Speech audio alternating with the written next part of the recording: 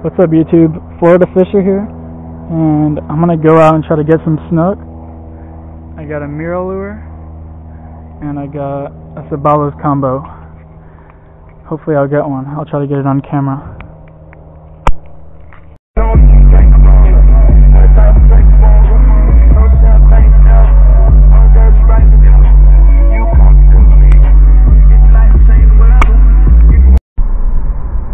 What's up guys? It's five it's uh 520 and we're almost at the spot. Um as soon as I get there, it shouldn't be long before I catch a snook and I could just head home. So I just wanted to catch one or two. I'm not supposed to be driving right now. It's my parents' car, so I'm trying to hurry up. Uh yeah. Hopefully I can get one.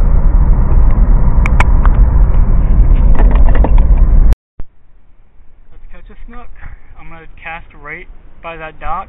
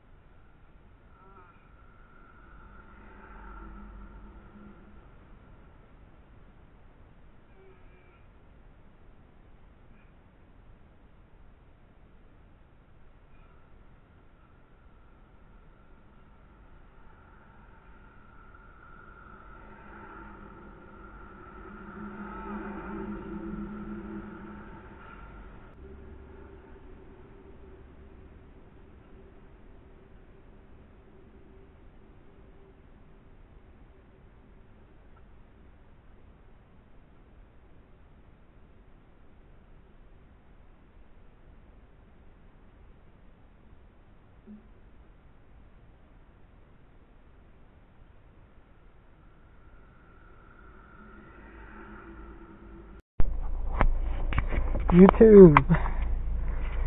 Not a good day for fishing. I had that snook stuck in my finger, and that was some pre- that was some pretty bad pain. Let me tell you.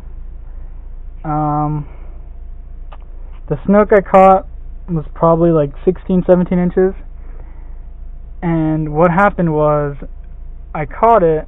At, you could you saw it happen, I think. Yeah, I think I have that on film, but uh, yeah, I had to call the freaking cops the police, and they ended up cutting the barb off first, and then the hook came out, and the snook actually did survive.